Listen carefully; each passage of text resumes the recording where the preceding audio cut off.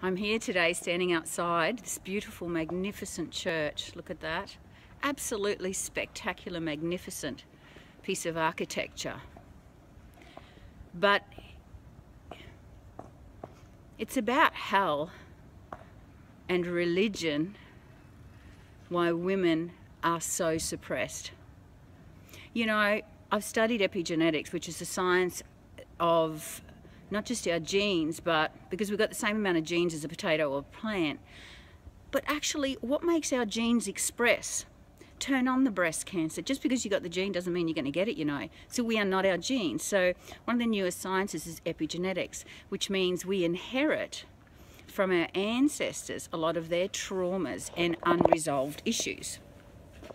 So one of the unresolved issues, like what they do though, is they're mostly researching men but women are the real change, you see, because we're not just 50 50 DNA and inherited memory of the mum and the dad, we're actually also the incubator. Just like when they thought they were studying the, the genes, right, the actual DNA, they missed the fact that um, it was a message so they were, they were washing off the spool that they took the DNA off so that they could read the DNA because men like to measure things and science was a man's world and still pretty much is, even though there's a lot of female scientists, they're trained by men. So everything has to be measured, but their mere measurement tools mean, for example, a lot of the female studies we read about are actually the results of boy mice that were castrated at birth. Now, this is a fact.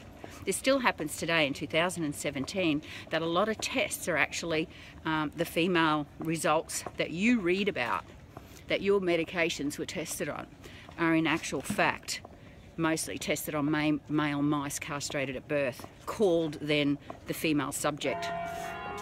Ah, chiming nice and in time. I'm waiting for the church to open because I'm going to burn a candle for the nine million women that were butchered and slaughtered for having a vagina. Within 300 years, 9 million women were killed, called witches. We're still scared of them today because we actually bought into the bullshit story. And you know, I'm staying at a hotel just down here, down this laneway here, and at the end of the street, just across from my hotel, is the women's weighing station. So they would weigh the women, the priests here from this church here. They would have been from this church, obviously, if it, um, it was all to do with religion because if women had the power to give birth, then they could be right up there with God, which would mean that, well, that just can't be. So, what they would um, do is weigh them. If they weighed thin and light, that meant that in their eyes, egotistical, um, patriarchal maniacs called priests, that um, that we must be living on herbs, therefore a healer, a witch, which when you think about it, um, healing with herbs is what we're going back to, isn't it? So we were just natural healers. Women had the instinctual knowledge for what heals what. But we were deemed witches. Had our heads cut off in front of all of our own generations. I'm not trying to make you angry or scared. I'm trying to educate you because when you actually know this, you can realize that you, when you understand epigenetics, that you inherited, you inherited unresolved traumas from the past. So one of the traumas I would say associated with this was, oh my God, I can't be myself because if I'm really me and I'm in my body and I'm, I'm operating on intuition, I could be deemed a witch, therefore killed and be taken, you know, my, who would raise my children and my grandchildren and so on. So very, very interesting that women very long ago, I mean as long back as, as religious history that we study and that we have to read about and, and um, you know, all of the current history we know that we read about in school books is, um, doesn't even touch on this, that the woman, a woman being born with a vagina meant you could be deemed a witch and killed. 9 million women in 300 years. Think about that. So that's just history, it's just real. It's pre-patriarchal days when we were, the, the last time we were um, innately natural females being in our gender. Naturally, I mean.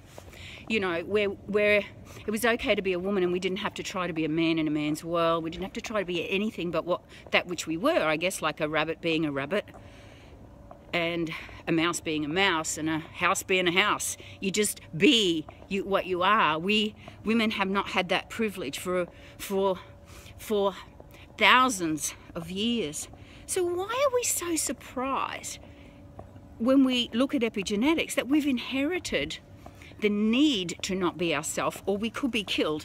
Women live in fear. They do live with such terrible anxiety, three times more than men. You're more likely to have um, depression or anxiety and find yourself sitting on a doctor's chair. If you're a woman, they don't even test hormones, mind you, that which we are, um, because you can't measure that in a in a um, research you know, you can't document that in a white paper and be famous. So they have to um, castrate boy mice instead. I keep linking these back together because I want you to get it.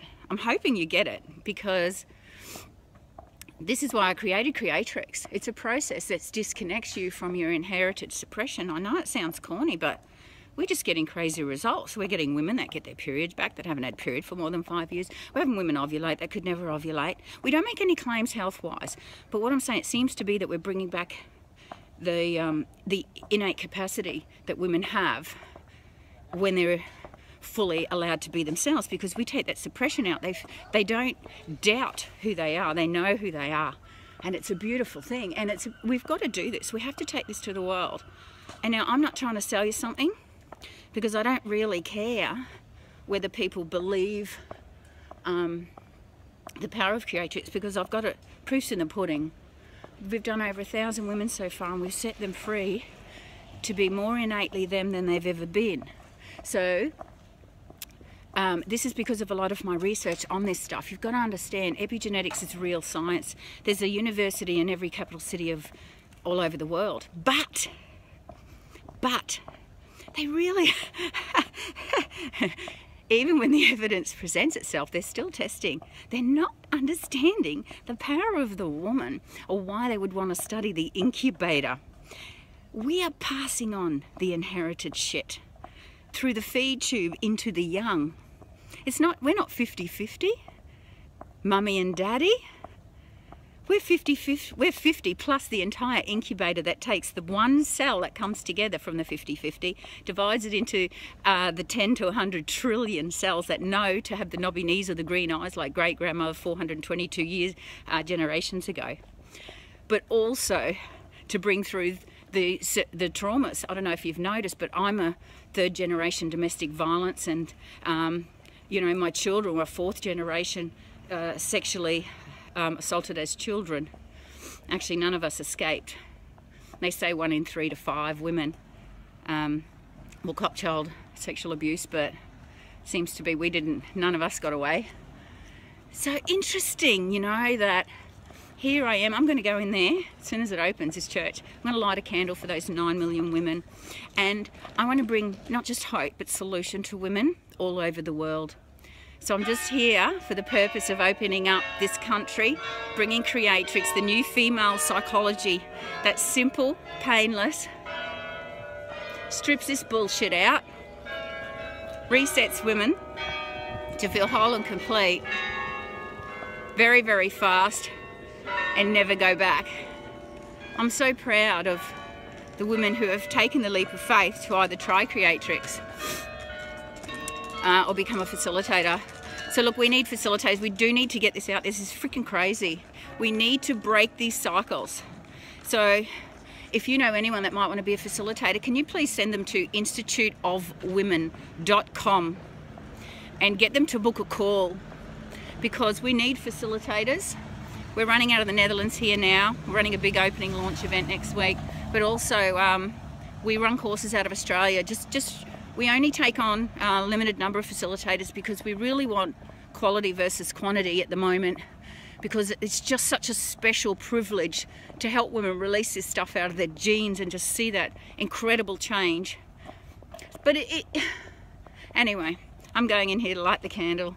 I love you and leave you with that. Please don't take this on as a negative message, but just take it on as hope that that there's hope, there's solutions, and that it is the the era of the woman rising back, not becoming something she's never been, but regaining herself back in her purest innate way of being that which she really was born to be and that which she was really created to be. The magnificent creature who is emotion and who produces life inside of ourselves. We can grow a brain inside of our body while running a brain. It's pretty freaking powerful. And so we need to get our natural way back. So here's to women all over the world. Hashtag setting women free.